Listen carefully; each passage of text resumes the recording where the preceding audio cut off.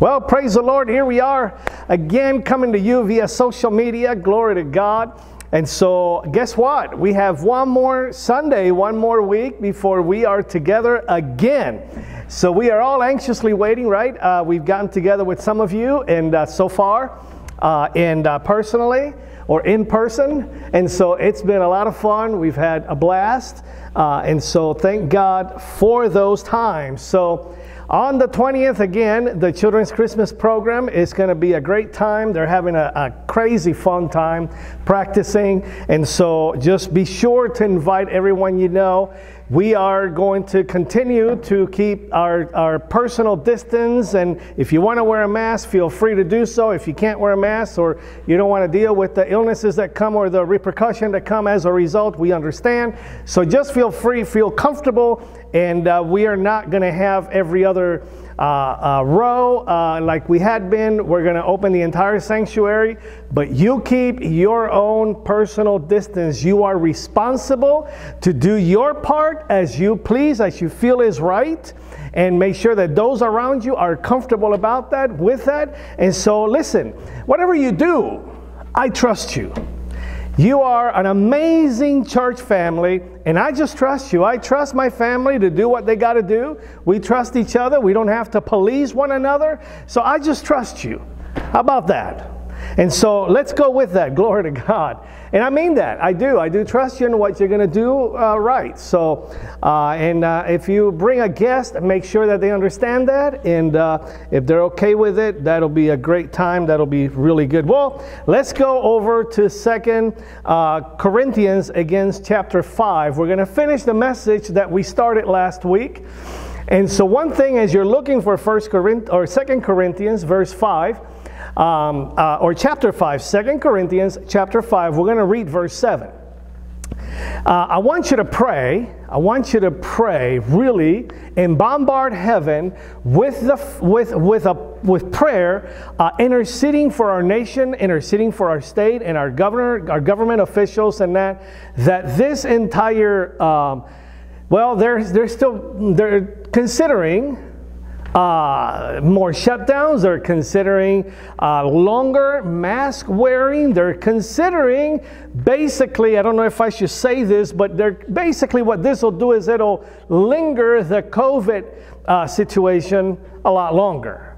So this thing has to leave our country. So let's, I believe it's time to begin to pray that God will kill this thing and get it out of its way.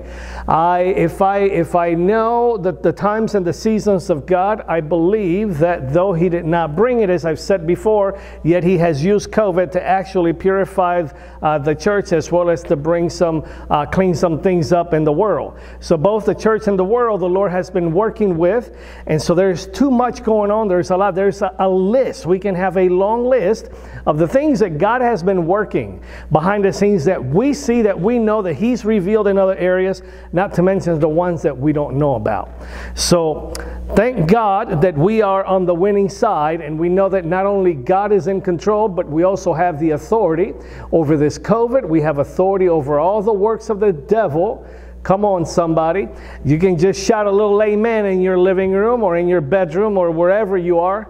And so, let's believe God for a breakthrough in this thing or with this COVID thing. Amen. All right, so Second Corinthians 5, verse 7 says, For we walk by faith, not by sight. We walk by faith. Our lifestyle is to be a lifestyle of faith, of trusting God, of believing God, right? Or can we use another word? Our, our, for we walk by risk not by just taking everything carefully. I'm not saying that we need to be crazy and taking steps of uh, uh, well steps of faith or risky steps that are going to create all kinds of chaos. We know to use discretion, God's wisdom, and all of that. I think we understand that. So we walk by faith, not by what we feel, not by just our experiences, right? Not just by our head knowledge. We need to walk by faith, not by sight. So, we mentioned last week that our perception influences our perspective. Just giving you a little bit of a background so we can kind of go back to where we left off. And our perspective drives us to a decision, and decisions gives us results. But in order to get results or the right results, we must be in the right place at the right time or have the right perspective. As a result of being in the right place and at the right time, in order to have, get this, the proper perception. It's easy to perceive things when we are not paying attention or actually having our spiritual radars on right? And so, as the Lord wants to reveal things to us, sometimes we see things more in the natural or perceive things in the natural, not in the spiritual.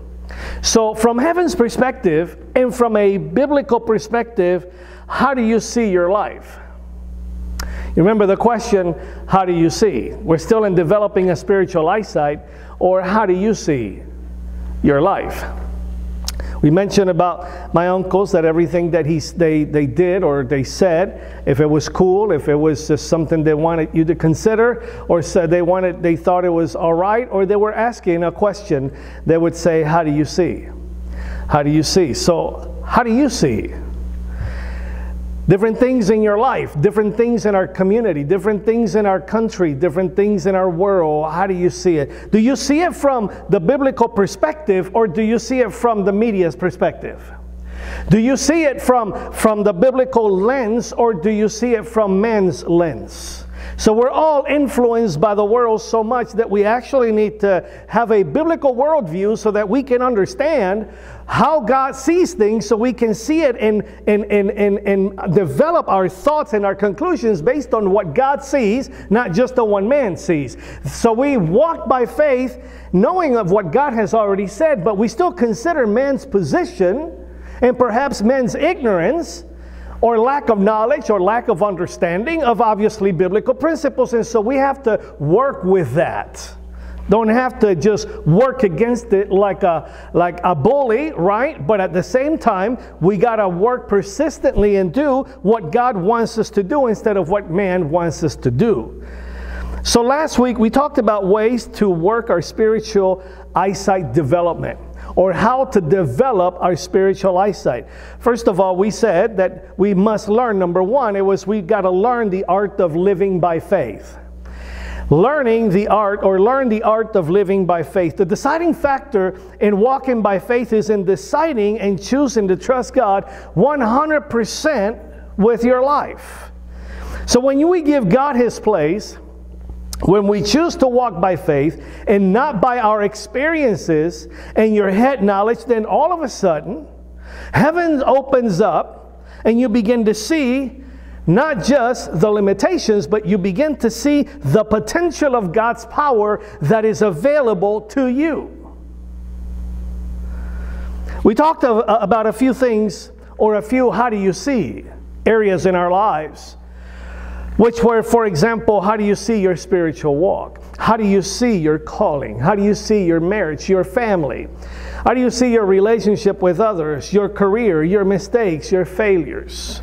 Right? How do you see your plans? How do you see your prayer life? And how do you see over your overall relationship with God? And we can go on and on with more. We know that in the natural, faith is crazy. It doesn't make sense. In the spirit world, though, faith is very normal. Faith, in fact, is everything. I said before, faith is the currency of heaven. Without faith, we can't please God. Without faith, we can't receive anything from God. Without faith, we can't move forward in God. Without faith, we can't accomplish God's purpose in our lives. Without faith, nothing like that is going to work. And so we need faith. We need to trust God. So it is important to learn the art of living by faith. Secondly, the next way to work in the spiritual, uh, the spiritual eyesight uh, development that we are um, in our quest of in, it is number two, get in the Word. Get in the Word. This is simple, and we already know this, but I want to I want to take some things a little bit deeper, if I would, if I may. Get in the Word. Read it, study it, devour it, and rely on it. Read it, study it, devour it, and then rely on it. Really, you have to rely on the Word of God. Why would you say you know, we have to do all this stuff? Is simply because your worldly input will drown your heavenly understanding. Every time. Because sin has a way, and the things that are against God and the systems of this world will have, a, the, have the potential to begin to uh, fog our brains, if you will, or even our hearts our perspective begins to change. Our perception eventually is gone the more we look at the things that the world have to offer and we we receive worldly input every day. Oftentimes hours on end during the day. And so it is important to get to get in the word and really devour it and know it, understand it, right? The information along with the revelation that you've received from God needs to be nourished and daily fed for spiritual increase and for spiritual preparation and development for your next victory. So we need to nourish the revelation we've received from God. We need to, we need to uh, uh, really uh, uh, enhance that which we have received from God so that we can understand it better, so that we can apply it better with God, God's wisdom. There's much we can say about that. But getting in the Word, let me give you some practical things here. What happens when getting in the Word? Getting in the Word, you'll learn to know about God. you'll learn to know about God. But secondly, you'll also get to know God. I don't just want to get to know about God, but I want to get to know Him. In other words, I don't want to have just information, I want to have revelation. I, want to, I don't just want to have some knowledge, I want to have an encounter. I want to have an experience. I want to know what makes Him tick, if you will. I want to know what makes God, brings God pleasure. What, what, not only just by my actions, but my the condition of my heart, by my thoughts. I want to know God. What is it that makes him uh, uh, want to, you know, send Jesus on the cross? And we can easily say, well, it's because of love. But what does that look like? I love my kids and I love humanity. But it's not gonna, I'm not going to go off and just send my kids and get them sacrificed for my those that don't like me even to begin with, let alone those that hate me. So there's a deeper love, there's a deeper uh, uh, awesomeness of God that I want to know about. You'll also get to understand yourself and mankind a little better by getting in the Word. The Word will bring understanding to who you are. You'll get to know yourself more as you see yourself as the, the scriptures become a mirror, so to speak. You see the good, the bad, and the ugly, and, and the good looking too. I mean, you, you see it all.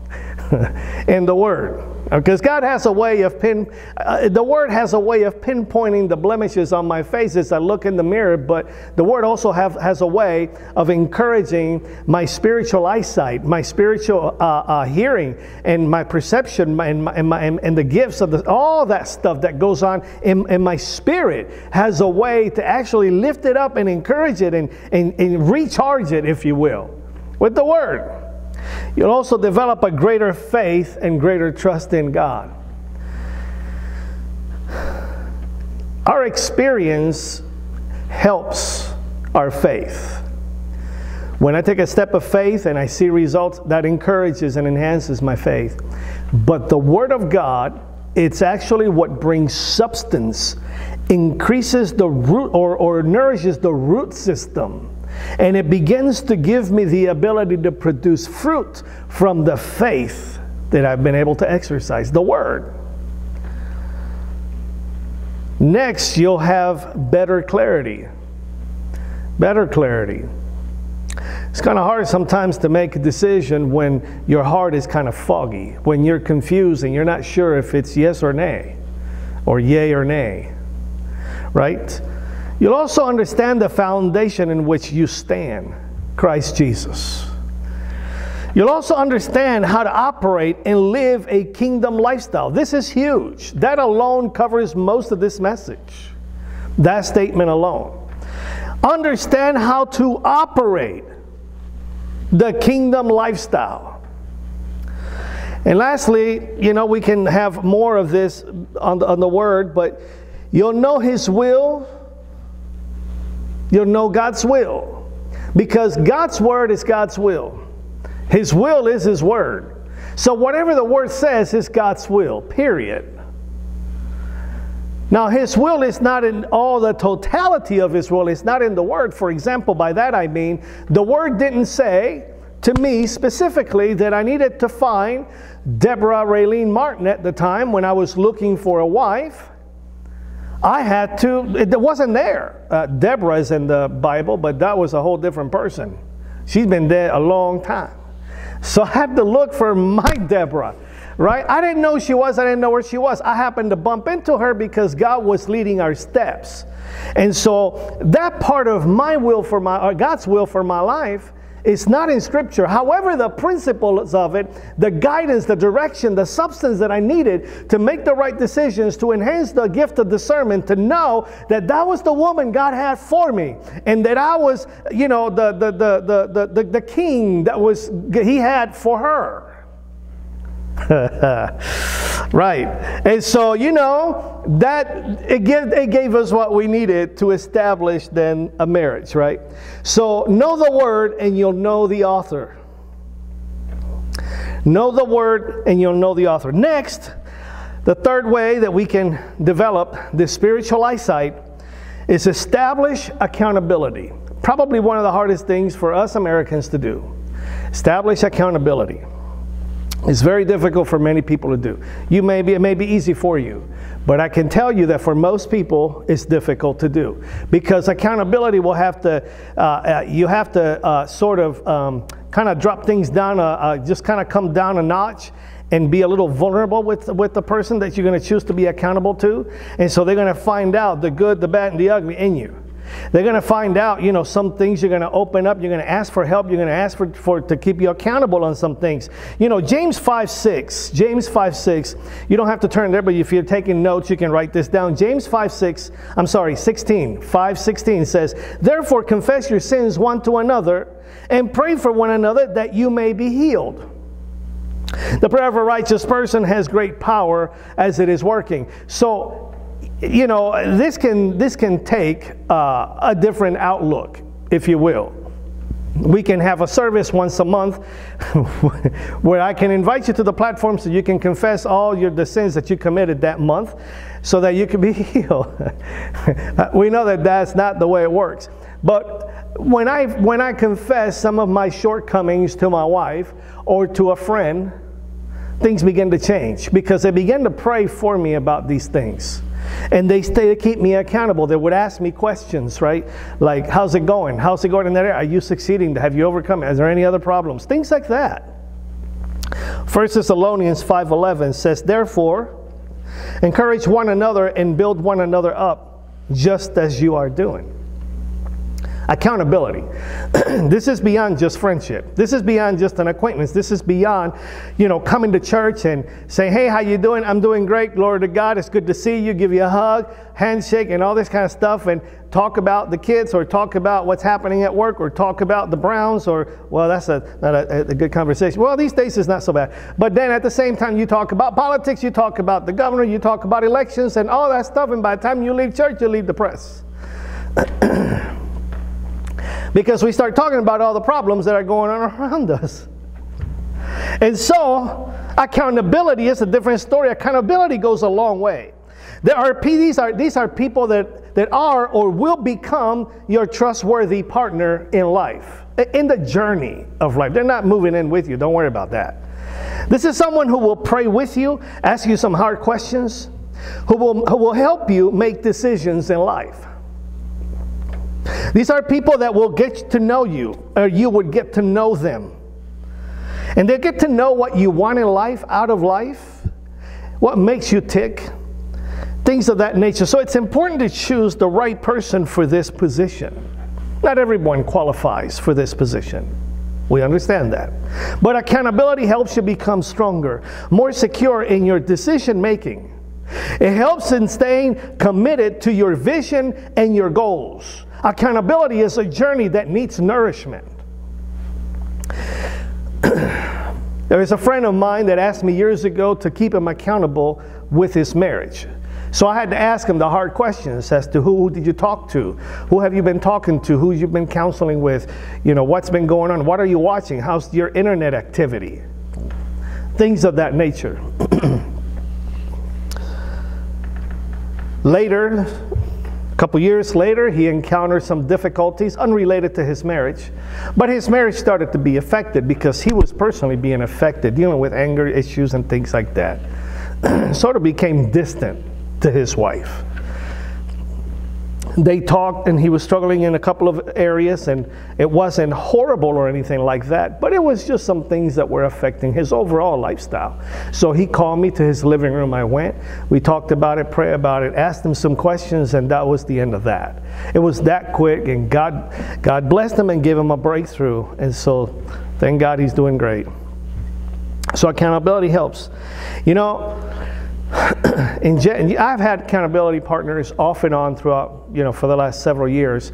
And in January, I'm starting a new partnership with a, uh, uh, um, a friend, uh, another pastor friend, that um, we decided to, uh, to establish this because we both are of the same mind, the same heart towards, you know, Ohio for Jesus, the same heart towards ministry, the same heart towards people. And so we have the same type of uh, desire to see God move through our ministries. And so we want to go deeper with God. We want to go deeper in the things of God. So we're going to be challenging one another, encouraging one another, praying with and for one another. So, you know, these are things that are important even to us pastors. So I am do I'm starting that come January. So at the beginning of the year, that's what we're going to do. So uh, this this accountability partner is someone that can actually keep you on track or someone that may be able to push you harder.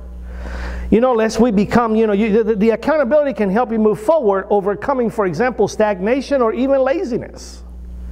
It's easy to do at different times in our lives, right? So, for example, you can have accountability partners if you're a grown up or you're a teenager. It doesn't really matter at that point. You can have your parents you're, you're, you're, when you're a kid, you're, you're, you're, you got no choice. Your parents are, you're accountable to your parents, right? And so once you become a teenager, you want to separate from that. You want to, you're 18 years old, you're 20 years old, and you don't want to be accountable to mom and dad because that makes you feel like a little kid and all that kind of baloney stuff. Well, you know, the fact is that if the parent is good, if the parent is strong, if the parent is a believer, if the parent can take you to the next level and help you walk through this journey, making some decisions, talk to your parents. Or maybe here's another one. How about some friends? We kind of touch on that. Maybe somebody at work that's a believer, but somebody that can pour into you, not somebody that will take away from you. You don't want a joy sucker in your life. you want someone that by the time you're done, you are rebuilt or recharged. Not rebuilt, but recharged. You know that you left with something and that person and you may be and it may be a mutual accountability partner that you both it's like ironing sharpening iron like iron sharpening iron right? So that's important. The fourth way that we can develop our spiritual eyesight. See this is all in preparation for what's coming in 2021 I hope you understand that you're keeping that in the back of your mind. Number four is develop an uncompromising lifestyle of prayer. Listen, I didn't say develop an uncompromising prayer life, though that could be said that way, but a lifestyle of prayer. A prayer life can be looked upon as well, I pray once every day. A lifestyle is one that prays all the time, as often as possible, understanding that that is my lifestyle. It's my lifeline, if you will.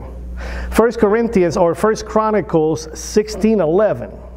1 Chronicles 16:11 says this: Seek the Lord in his strength. Seek his presence or seek his face. And here's a word that it finishes it with, continually. Seek the Lord and his strength, seek his presence continually. Jeremiah 29 12, it says, Then you will call upon me and come and pray to me, and I will hear you. Then you will call upon me and come and pray to me, and I will hear you. The Word will give you a roadmap. The Word of God will give you a roadmap, and prayer will show you the way. And the Spirit of God in prayer will often reveal to you the truth about the way. Sometimes we need revelation, we need a little understanding, we need some insight. There may be bumps on the road, there may be construction, there may be a car on the side of the road. As we're driving, as we pull the GPS, and so the GPS is leading us, and all of a sudden, sometimes you have to use your own discretion and your own judgment because the GPS doesn't tell you everything about the roadmap. Right? Next, pray from your heart, not from your head. I mean, not to say don't use your head when you pray, of course. but don't just pray a prayer that you've recited. Let your heart be filled with God and let your heart just lead you in that prayer. Just the other day, I was, I was here, I came into the sanctuary and I began to seek the Lord. And, and as I walked in it, it wasn't 30 seconds. And the Lord just came upon me, and my heart was filled uh, to pray for a friend of mine well, we just become friends recently. A great man, a great man of God that I've, I've grown to admire and respect. And so the Lord just came upon me, and I began to weep for this man in intercession as the Lord was moving, and I began to pray for different things in his life. Then I shared that with him that night, as a matter of fact. That wasn't my head knowledge. I was praying about things I didn't know anything about. After talking with him, it was revealed that those prayers were very much needed. So I thank God that I was just willing to just let the Lord pray through me as I pray for him and the Spirit and things like that. So pray from your heart. What is your heart feeling? What is your heart, your heart's desire for God, towards God, and the, the things of God? Next, pray by faith, not by chance. In other words, when you pray, believe that it is done, not hope that it is done. Not like, we'll see what happens. No, you know it's going to happen. Just expect it because Jesus promised. Now, it's all in His time and according to His will. All that has to be in right perspective and in the right place. But at the same time, don't just pray hoping that it will happen, that hoping that the Lord will answer your prayer. You know He heard, he heard your prayer anyways. He even heard your prayer before you prayed it. he heard your thoughts about it. He heard you thinking about it. You know how it is that sometimes you, you plan a few minutes before you go to prayer, you're already planning what you're going to talk to God about? He already heard that. You know how I know? Because He's told me so. Not only does His Word reveal that, but He's told me so. I'm about to start sometimes in prayer. This has happened to me a few times. And I'm ready to go in and just pray and bring to God this situation. And He said, Yeah, you already talked to me about it. And I said, I, I've never talked to you about this. He's like, No, you did. I heard you when you were planning, talking to me about it. I heard your thoughts. It's like, okay, next, let's go move on to the next subject. Well, thank you, Lord. Is there anything else I need to ask you about? No? Okay, then we move on. So pray by faith, pray in faith, not by chance. And pray without doubting. Bible says that a man that doubts is like the wave of the oceans. It just comes back and forth and it just is, totally unstable in his own ways. So don't, don't doubt God. Don't doubt that he heard your prayers. Don't doubt. Don't even worry about it. Don't even give it a second thought. If it comes to your mind, just rebuke that thought. Believe that God hurt you because that really settles the deal. He hurt you and that's that. Just believe it's going to happen and just expect it. Pray intentionally and expect God for what He promised. Don't just hope that you're praying the right stuff, just be intentional in your prayers. I asked you earlier, pray against the, the COVID, pray against masks, pray against the stuff they're trying to pass to get us to shut down again uh, and, and, and to bring this uh, crazy vaccination that they say is not even going to get rid of COVID. They want you to get vaccinated and wear a mask on top of it then what's the point of wearing a mask? I mean, you know, whatever. I mean, we can philosophize this until we're, we're dead and we're not going to win anything amongst ourselves, right? So we got to pray that God will, will pour common sense into our leadership so they can make the right decisions and quit making decisions based on somebody else's pocketbook. Well, anyways, that's a different story. Sorry, I didn't mean to go off on something like that, but hey, the truth sometimes comes out. So, how do you see? Let me ask you that question one more time. How do you see? Developing your spiritual eyesight takes time, it takes effort, and it takes determination. We've got to be determined. We've got to be not only convinced, but determined on what we want God, what we believe God wants, and walk in that and be intentional and take time and make, forth the effort to accomplish the mandate of heaven. And your ROI or your return on the investment that you've put into that is amazing. The results that you get are amazing. And you don't do all this to get the results you want. You're doing all this so that heaven can come down and do what heaven wants to do in the first place. It's not just about me, you know, I don't know, getting more stuff. It's not just about me being healed, it's about all of us being healed. It's about God healing people everywhere. It's about, it's about, it's about taking my miracle and share with someone else at a cash, at a, with a cashier, uh, you know, share with the mechanic, share with someone else and, and see God move in their lives. That's what it's about. It's not about me, it's about others. That's what Jesus was about. You see, you'll see, see when, we, when we do this, what you'll see is you'll see what others won't. Your spiritual eyesight will begin to see what others can't. You'll begin to understand what others are not able to understand. And you will, you will walk with God like most people don't. The end result is you'll execute the kingdom mandate that God has placed in our lives in ways that we never even imagined before. Because God would take you to a higher level in Him, if you will, and have you walk in His path and in His ways, where you, even coming up this next year, you will be a different person, fully charged with the kingdom of God on your behalf, working with you, working for you as you work in sync with God, knowing His will, developing the art of living by faith, as you develop a daily habit of getting in the Word, and as you establish your accountability, because it is important, and develop an uncompromising lifestyle of prayer. And I would assure you that 2021 for you will be a lot better and much different than 2020 ever has ever been. Amen? You believe that? If you believe that, just say amen and receive it, and let's put it into practice together as the body of Christ. So let's take a, a few moments and pray. Father, thank you. Lord God, for your promises. Thank you, Lord, for your grace. Thank you, Lord, for your kingdom assignment. And we pray, Lord, that you would help us to execute your mandates. Lord, as we develop, Lord, a lifestyle of prayer, totally uncompromising. Lord, walking by faith and not by sight. Lord, we pray, bring about the right people to be accountable with, Lord, whether it's one person or two or three.